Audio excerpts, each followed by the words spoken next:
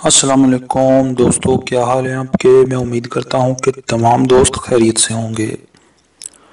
तो दोस्तों, हमेशा की तरह आज भी मैं आपके लिए जो है कि रिश्ता लेकर आया हूँ। इससे पहले हमारी एक छोटी सी गुजारिश है कि हमारे चैनल को सब्सक्राइब करें और बेल के आइकॉन को भी दबा दिया करें, ताकि हमारी आने वाली हर नई से नई वीडियो का नोटिफिकेशन आसानी से आप तक पहुँच जाए।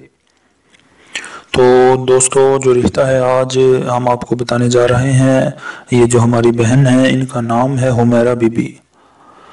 तो हुमैरा जो है हमारी बहन इनकी उम्र है चौंतीस बरस थर्टी फोर ईयर्स खूबसूरत हैं स्लिम हैं हम्म, अच्छे जो है ख़ानदान से हैं गरीब फैमिली से हैं। ये मैं आपको बता देता हूँ पहले ही कि काफ़ी जो है गरीब फैमिली से हैं और बदकिस्मती देखें ऊपर से कि ये जो है कि तलाक याफ्ता खातून है। इनकी तलाक हो गई है और जो है दो साल का अरसा हो गया है इनकी तलाक हुए।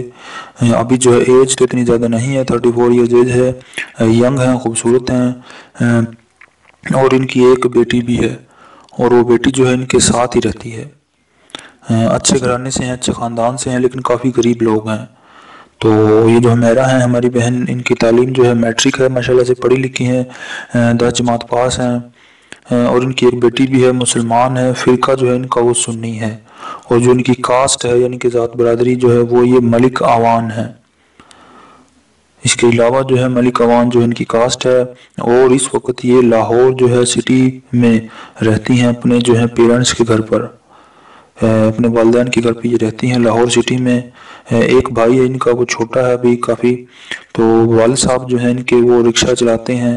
यानी कि काफ़ी जो है, गरीब फैमिली है। छः बहन भाई हैं ये।